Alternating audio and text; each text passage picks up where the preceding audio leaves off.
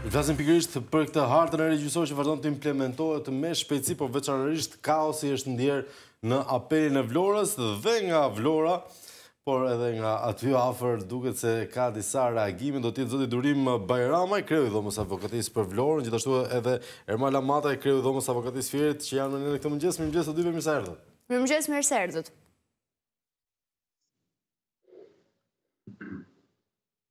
Na dëgjojnë, s'na dëgjojnë? Po, mirëmëngjes. Na dëgjojnë, na po, dëgjojnë. Mirë se vini. A kanë filluar të ndihen efektet e hartës së re gjyqësore? Fillojmë me zotin Bajramaj, më pas Hamataj.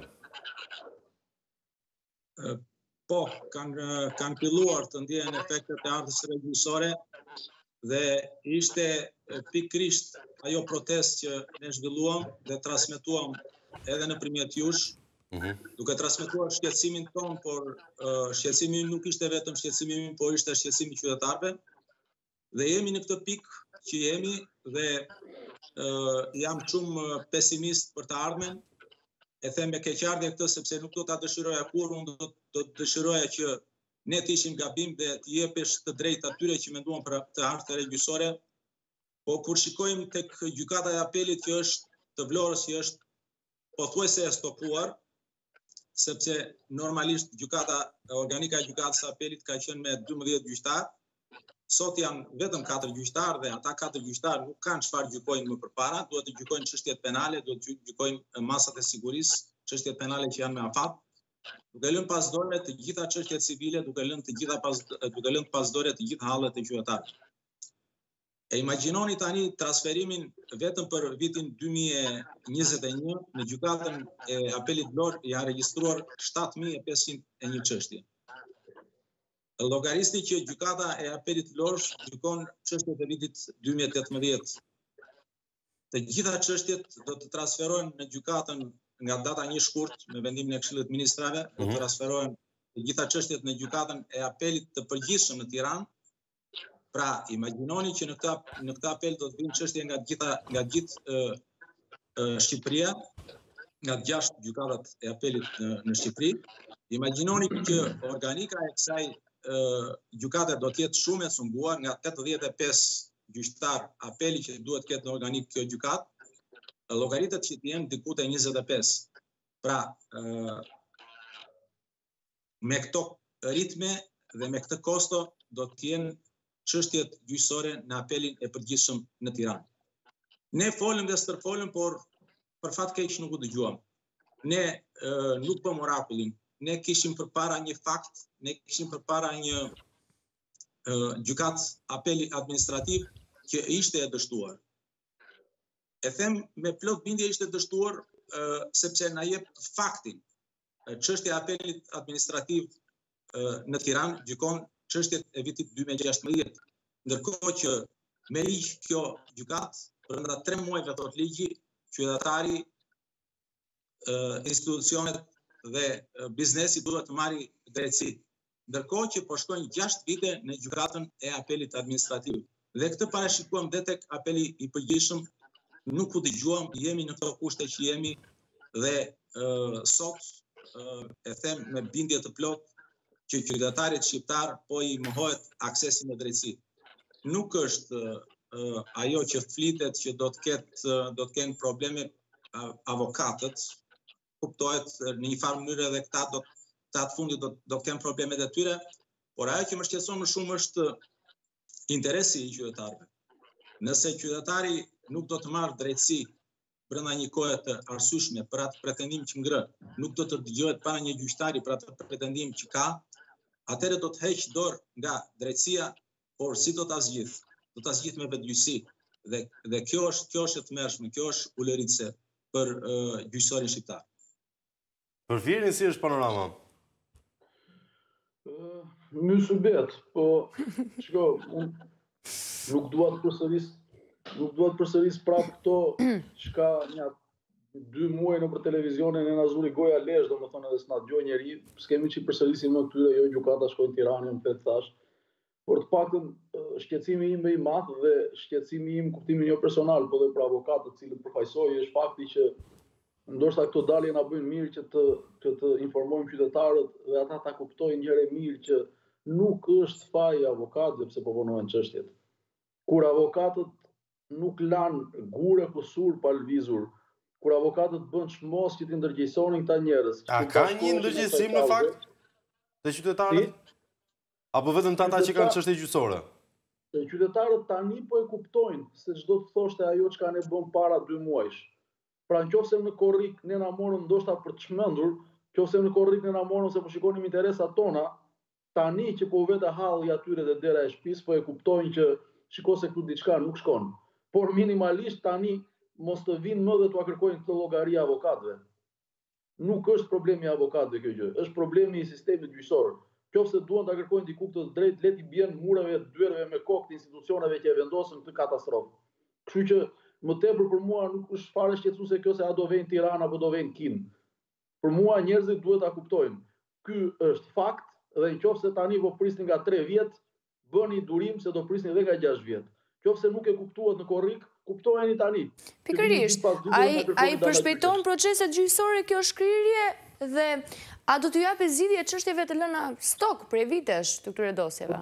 Si mund, shiko, si mund të përshpejtojë procesin një gjë që bën bashkimin e tetëmbëdhjetë mijë apo dyzet mijë dosjeve në një gjykatë, që aktualisht nuk ekziston. A di njeri më thotë ku është Gjykata e Apelit Tiranë, që do bashkohen këto gjashtë gjykata të rretheve? Ku është pra? Si mund të përshpejtojë një proces që është bërë kështu kuturu, që sot nuk ka një godinë, që sot nuk ka një staf ta dimë që ore këto dosje do të transferohen diku, por thjesht është vetëm një do bëhet Gjykata e Apelit Tiranë. Dhe hajde të presim po bëhet Gjykata e Apelit Tiranë. Por, ne nuk kemi ende sot një, një infrastrukturë. E imagjino që në maj të vitit tjetër duhet të fillojë të funksionojë kjo gjykatë. Kështu që jo që nuk e shpejton, por as nuk i afrohet shpejtësisë kjo gjë. Kjo do do bëhet një katrahurë e vërtetë. Dhe thjesht prapë po e përsëris, qytetarët ta kuptojnë keni bërë si keni bërë tre vite, duroni gjashtë vite. Pas gjashtë viteve, hajdeni dhe kërkojeni datën e gjyqit, por mos konfliktoni më me avokatët. Nuk është faji i avokatëve pse vonojnë datat e gjyqeve. Ndërkohë, sa i takon disa prej këtyre dosjeve specifike, a keni në praktikën e punës tuaj le të themi çështje të cilat kurrsesi nuk mund të presin të tilla afate as tre apo larg qoftë gjashtë vite për të pasur datën e gjyqit, a mund ma ma ilustroni me një shembull që le të themi ta kemi pak më të qartë konkretisht? Asnjë çështje, sado e thjeshtë qoftë ajo për mua, mhm. apo sado e pavlerë qoftë ajo për gjykatën, nuk është e parëndësishme për qytetarin. Sigurisht. Për qytetarin është e rëndësishme edhe një problem për zgjidhjen e pensionit. Për qytetarin është e rëndësishme dhe një zgjidhje martese. Për qytetarin është e rëndësishme. Imagjino të rrish 6 vjet më tepër i martuar me atë që do të ndahesh për shembull. Deri më dje për 30 ditë ndaheshin, sot kur duhen 2 vite në mos gaboj apo jo për t'u ndarë, për një proces divorci. sot, sot në gjykatat e apelit që të mbyllësh një proces divorci, që është gjëja më elementare, më qesharake, gjëja më e thjeshtë e mundshme, do 2 vjet. Por mund të shkojë edhe 6 vjet. Kështu që je i detyruar, ndoshta ndrojnë edhe mendje gjatë kësaj kohe. Jo, mendje nuk e ndrojnë ata, por ata do të vrasin njëri tjetrin. Ky është shqetësimi më i madh. A cënohet, a cënohet aksesi i individëve në drejtësi? A është ky qëllimi final në fund fare? Po patjetër, mo, shiko, patjetër që aksesi i individëve është qëllimi final. Ne jemi ajo pjesë që i japim suportin individëve, se ne nuk shkojmë në gjykata për hallet tona, ne shkojmë dhe përfaqësojmë hallin e individëve, dhe largësia e këtyre datave, mosdalja e këtyre datave dhe pritja e këtyre datave, praktikisht rëndon ata drejtpërdrejt, sepse për ne, si 2 vjet, si 3 vjet, si 5 vjet, ata qytetarët shpenzimin dhe pagesat i kanë bërë. Pra ta kuptojnë njëherë e mirë, nuk është fare shqetësim i avokatëve ky. Madje për të mos thënë që kjo do krijojë komoditet për avokatin. Janë qytetarët, janë qytetarët ata që do ta ndiejnë këtë. Absolutisht. Flasim pak për çështjet penale. Duket sigurisht nëse flasim për Vlorën dhe Fierin, po kam përshtypjen për gjithë Shqipërinë. Ato kanë një specifikë të tillë se disa nga qytetarët mund të jenë, le të themi, në një fazë të hetimeve padrejtësisht e kemi parë të ndodhë këtë vit pas viti herë pas here. A do të thotë kjo që do të kemi dhe ndryshime të tjera ligjore pikërisht për t'u përshtatur me afatet e reja gjyqësore? Dikush që rri 6 vjet në pritje të vendimeve, fillojmë me zotin Bajramaj më pas zoti Amataj. Pra, a po, po bëhet gati një paketë suporti vendimesh dhe ligjesh për një kod të procedurës penale në mbështetje të kësaj harte gjyqësore? Po, është e drejtë, ajo që thatë, unë e kam thënë, unë e kam thënë që në fillimet e protestës tonë që në Shqipëri gjithmonë është eksperimentuar. Mhm. Në Shqipëri që nga 45-a vazhdon eksperimentohet edhe në kushtet e reformës së re në drejtësi dhe hartës gjyqësore për mua u eksperimentua. U eksperimentua sepse na u tha që do bëhet një shtëpi e re, por kush nuk e do shtëpinë e re. Po shtëpia e re u bë pra, pa projekt dhe na prishën shtëpinë e vjetër dhe na lanë në mes të katër rrugëve, pa u bërë shtëpia e re. Kështu po ndodh edhe tani, pasi u bë kjo katrahurë, mendohet tani të bëhen ndryshime në ligje, në kodin e procedurës penale, kodin e procedurës civile dhe në kode të ndryshme, për t'i hequr akoma më shumë aksesin në drejtësi qytetarit. Po kërkohen të bëhen ndryshime që në gjykatën e apelit gjyqet të bëhen dhomë këshillimit. Gjykata e apelit mo zotërinj është gjykatë fakti. Nuk mund të bëhen gjyqe në dhomë të këshillimit. Përpara gjykatës e apelit qytetari duhet të dalë dhe të dëgjohet, të shikohet sy më sy me qytetarin, t'ia transmetojë në sy hallin që ka dhe aty gjyqtari ta dëgjojë dhe t'i japë drejtësi. Pra, edhe këto janë në fazën e eksperimentit që po bëhen mm -hmm. për të mbuluar atë katrahurë çka u bë deri tani. Dhe kjo mua më vjen keq ta them sepse e kemi thënë dhe stërthënë, por në fund të fundit kjo do të rëndojë mbi mbi kurizin e qytetarëve. Qoftë në aspektin që do, nuk do të marrë drejtësi brenda një afati të arsyeshëm, por qoftë dhe në aspektin e kostos mbi qytetarin. Imagjinoni një qytetar që ngrihet nga Konispoli dhe i drejtohet gjykatës së apelit në Tiranë. Ka edhe kosto të tjera. Kam pasur kam pasur kam pasur raste që qytetari i është drejtuar gjykatës në Vlorë, gjykatës administrative të shkallës së parë për të kërkuar disa vite pune në ish-kooperativat bujqësore, Dhe a dini sa sa pension do të përfitonte? Do të përfitonte vetëm 70 dollarë. Dhe çështja u apelua dhe shkoi në gjykatën e apelit administrativ, e cila dhe sot e kësaj dite nuk është gjykuar, ndërkohë që ai qytetar me keqardhje po them ka vdekur. Mm. Pra, nuk arriti ta merrte as atë pension 70 dollarë. Pra, kjo do të jetë reforma e re në drejtësi, kjo do të jetë harta e re gjyqësore. Pra, qytetari nuk do arrijë të marri dot as pensionin 70 dollar. A madhe? Atë nisa të thoja që çdo sipërmarrje dhe nismë që marrin këta, shoqërohet dhe me shmëndurirat te pjesa e ligjit. Se këta e kanë bërë ligjin e ndryshojnë domethënë sipas shmëndurisë së radhës. dhe praktikisht unë nuk e di të ketë diçka konkrete, por logjika më çon që këta do rishikojnë afatet, afatet e gjykimit, por gjithashtu do rishikojnë edhe gjykimet në apel. Ka kohë që përflitet që Gjykata e Apelit në fakt e kundërta e asaj çka thotë kolegu dhe e kundërta e asaj çka të gjithë mendojmë se duhet të jetë, këta thonë që Gjykata e Apelit nuk duhet të gjykojë më në fakt, në themel, por në dhomë këshillimi. Dhe jam i sigurt që edhe për shkak të ngarkesës së madhe që do ketë Gjykata e vetme e Apelit në Tiranë, kam përshtypjen se do ta ndryshojnë mënyrën e gjykimit në Apel. E di ç'do të thotë gjykimi në dhomë këshillimi? Që qytetari dhe avokati mos të kenë të drejtën e fjalës dhe mos të kenë të drejtë ta mbrojnë çështjen në gjykatë. Pra, vendimi do merret në zyrën e gjyqtarit bashkë me sekretarin gjyqësor. Pra, ata dy veta do vendosin për fatin e jetës, së pronës, ku di unë të një mijë e një problemeve të qytetarit, pa e parë as vizualisht se kush është qytetari, pa e dëgjuar fare hallin e qytetarit. Pra këtu do bëhet një drejtësi mekanike në letër, por në drejtësi asnjëherë një plus një nuk bëjnë dy dhe një gjyqtar pa e dëgjuar në vetë të parë problemin, pa e dëgjuar qytetarin nuk mund kurrsesi të bëjë drejtësi. Ai mund të japi vendime, mund të prodhojë vendime, por drejtësi kurrsesi Dhe kjo kam përshtypjen se është problemi më i madh me të cilin do përballemi në gjykimet në apel. Absolutisht. Ndërkohë, miq të dashur, le të diskutojmë në fakt atë që do të jetë zgjidhja. Duket sikur nuk ka asnjë vesh për të dëgjuar shqetësimet tuaja. A keni ende një shpresë sado të vogël që do të ketë një rekurs në gjithë këtë çmenduri? Edhe nuk e di nëse ka rekurs për çmenduritë, po.